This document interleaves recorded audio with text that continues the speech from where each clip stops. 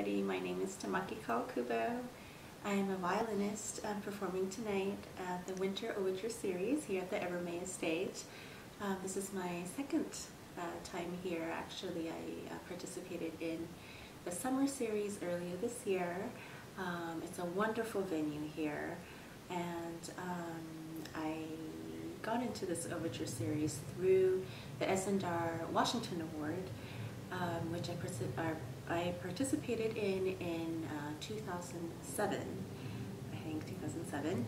And um, through this foundation and through this award, um, I was able to um, get together with Dr. Ueno and Dr. Kuno, who are the founders of this series here. And um, it's been a privilege and an honor to be part of such a wonderful series, uh, this beautiful location, and the ambiance, and the atmosphere, people that come here. It's truly a wonderful experience. So um, I'm looking forward to many, many more times and to a wonderful evening tonight. So um, I hope everybody will also have a great time and and we'll also have the opportunity to come here to the Evermaya stage and uh, to experience the Overture series.